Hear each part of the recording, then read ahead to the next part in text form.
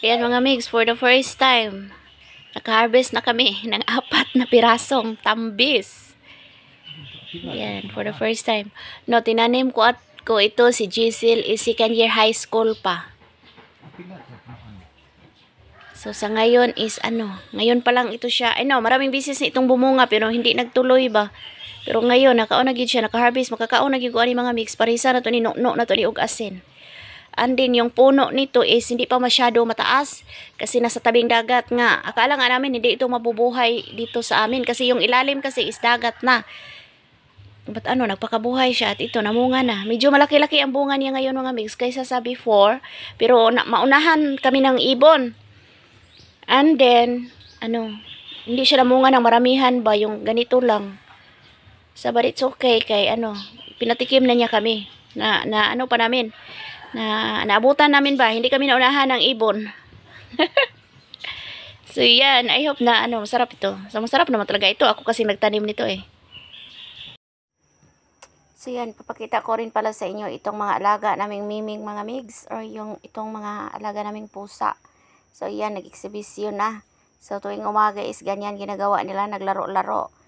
Yan, nakaka-voice minsan but ano, ayaw ko naman silang ipamigay or ayaw ko naman silang itapon mga migs kasi nga ano, may buhay din sila. Kaya lang, di natin maiwasan na minsan na maano tayo sa kanila ba magalit. Makaka-voice kasi ano, yung, yung dumiba kung saan-saan lang. Pero sabi ng asawa ko, wag lang daw itapon kasi may buhay din yan at saka naka, balang araw makakatulong din yan pag maraming mga mga daga na dito sa amin kasi nasa tabing dagat nga kami, ang daming daga talaga mga mix yung sa mga kakahuyan ba sa pagatpatan sa likod. So dito yung mga daga pumapasok sa bahay. So yan nga yung isang sakong bigas namin is gibakwit na po yan dito sa salas mga mix kasi ano kanon siya og ilaga kung ato sa kusina and then puno pa yung mga sisigla namin ng bigas, lalagayan ng bigas. So, binakwit namin yan. Yan muna namin i, inilagay kasi pag nag, may daga, ano, mga badlong pagdali mga mix or andyan naman yung mga pusa nakabantay. So, yung mga maliliit, nag-exhibition na, nagbitay-bitay, ang akong kurtina dyan, isa, signa, sagdain na lang na nato, ignore na lang na na sila. So, yan, tama yung sinasabi ng asawa ko, balang araw is makakatulong din yan. Yan, tingnan nyo yung pusa, oh, na-exhibition, nagbitay-bitay na, oh, da, patay, magisi na akong kurtina, sagdi na lang. So, mamaya-maya mga mix, puntahan natin yung property ni Jess kasi nagpabili si Jess ng grass cutter para sa kanyang property or para sa kanyang lula kasi naawa na siya sa kanyang lula na yun ang maglinis ba sa kanyang property kasi yung mama ko kasi yung lula ni Jess ang nakatira doon. So, medyo matanda na yung mama ko so hindi na niya kayang linisan ng buong property ni Jess kasi medyo malaki-laki iyon. So, naisipan namin na ano, bilhan ng grass cutter para madali lang ba yung pagbunot ng mga damo doon, yung paglinis. So, yan pala yung grass cutter na nabili, ah, pinabili ni Jess, binili ng asawa ko sa city, yan worth of 12k. So, yan, medyo mahal siya, pricey siya mga mix, but it's okay, kay yung kapalit yan is mapa, ano ba, mapagaan yung, yung trabaho ni mama, hindi na siya mag, ano ng mga, ano doon, mga damo, hindi na siya magbunot ng mga damo doon kasi, ano, gagamitin to doon. So, try yan. Hindi pa yan na-try doon, but soon, try natin, ipapakita, ipapakita ko sa inyo kung paano ito gagamitin doon sa property ni Jess or ano na, may ano ba doon sa property ni Jess, may may improve ba pag ito ang ginagamit natin. So, pagkatapos diyan mga mix, is nagpunta kami sa bukid. So, ako pala yung taga-video, hindi na ako nagpakita sa camera sa inyo. So, yan, sa bukid ito mga mix, sa Campo 2, part na ito sa Maigo. So, next town, dito sa amin kasi Bacolod kami, then Maigo. Yan, pumunta kami doon kasi napakainit ng panahon mga mig. So, naisipan namin nga magpunta doon para magpalamig ba, magpahangin. At saka, may iba namang tuyo doon mga mig. So, eh, siyempre, mag, nabukid, mga itag butong or manghingi tayo ng buko. So, masarap iyon kasi nga, mga, ano, pampalamig ba mga migs. So, lagyan natin ng gatas at saka ng ice. And then, yung pinsan na pala ng asawa ko, siya palagi yung kat-kat ba mga mix or umakyat sa puno ng niyog para magkuha ng buko kasi hindi na kaya ng asawa ko. Yun nga, kasi ano na, yung paa niya is bali na, may stainless na. So yun, pag nagpunta kami dito is manghingi ng butong, eh, yung pinsan niya ang palagi naming nautosan na kumuha ng buko. But before is, ano, yung asawa ko ang umakyat sa puno para magkuha ng buko or mag-harvest ng niyog. Pero nga sa ngayon is hindi na niya kaya. And then pagkatapos pala dito mga migs is ano, yung uwi tayo sa bahay kasi may iba akong gagawin para sa school. So, ang daming gagawin mga mix para sa mga bata. So, laban lang tayo kahit mahirap. Laban lang tayo sa buhay. And then, yan pala yung bahay ng pinsan ng asawa ko. So, napaka, ano dito, napaka quiet dito mga mix. Yun bang walang, wala yung saba dito. Kay ano, bukid man lagi. So, kukunti lang yung mga bahay dito. So, na, pag nagpunta dito is may peace of mind ka talaga. So, feel mo ba na walang marites dito? Yan. Yun yung mga pinsan ng asawa ko. Sila yung taga-kuskus ng buko pag naihulog na sa baba. So, yun, yung lawang mga sipat.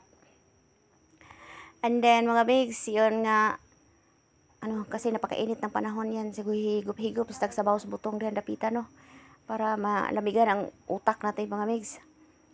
And then nga, plano ko pag uwi is yung continue ko yung pagta, yung may tatapusin ako mga mix na gagawin para sa daycare center para sa mga bata.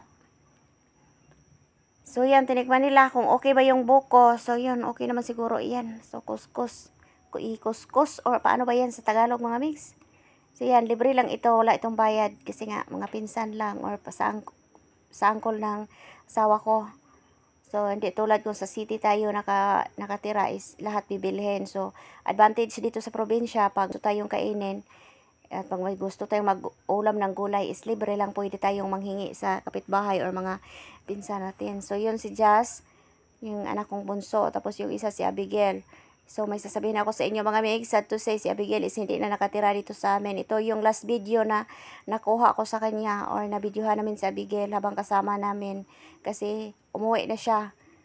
Umuwi na siya sa kanila. So, hindi na, sila, hindi na siya dito sa amin nakatira. So, long story mga mix, bakit siya umuwi? So, i-keep ko lang muna dito na sa akin na lang muna or sa amin na lang muna sa pamilya namin kung bakit umuwi si Abigail sa kanila.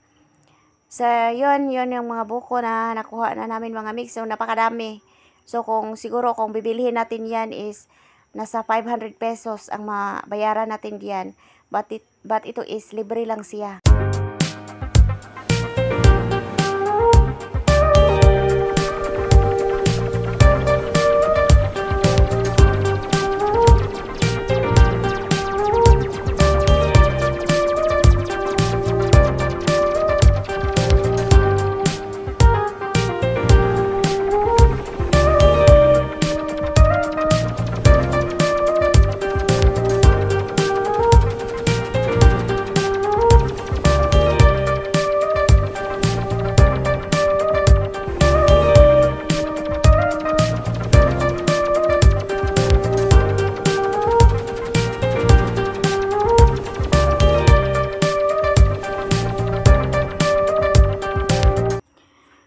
Ito yung gagawin ko mga mix. Ito yung trabaho kong sinasabi sa inyo na kailangan matapos-tapos ko na ito kasi gagamitin ito sa paralan, sa Daycare Center.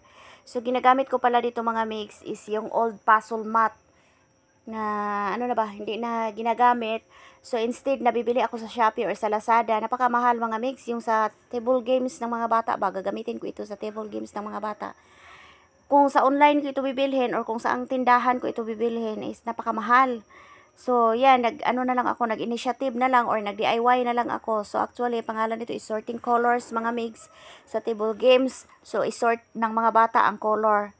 So, bawat isang bata is mag-sort sila ng color. So, kailangan iba-iba talaga yung kulay na, ano, i-cut ko mga mix or guguntingin ko katulad yan ba, guntingin ng isa-isa yung maliliit na piraso para ano magkasya para sa mga bata ba? Para malingaw pud sila kung mag table games na may mga mix o pili-pili ba sa colors or i-segregate nila yung color or sorting nila yung mga colors. So rubber ito mga mix kaya ano siya kaya lang natin gunting lang yung ginagamit ko. So kibale 3 days ko na itong ginagawa but hindi pa matapos-tapos kasi ang daming trabaho kailangan gawin mga mix. So morning, papasok tayo sa paralan, papasok tayo sa daycare center, and then pag uwi ko, mga reports, paperworks, ang inaatupag ko, tupag tayo sa computer. And then pagkatapos, pagkatapos sa computer is IMs na naman. So pagkatao, katulad nito, nagano naman ako dito sa mga IMs or uh, instructional materials. So yan ang ginagawa ko. Then after that, pag okay na, may natapos na ako, so doon print naman tayo ng para sa activities ng mga bata, mga migs. And then pagkatapos is yun na, yung time na na i ano ko na yung mga table games i-insert ko sa schedule ko sa mga trabaho ko yung paggawa ng mga table games.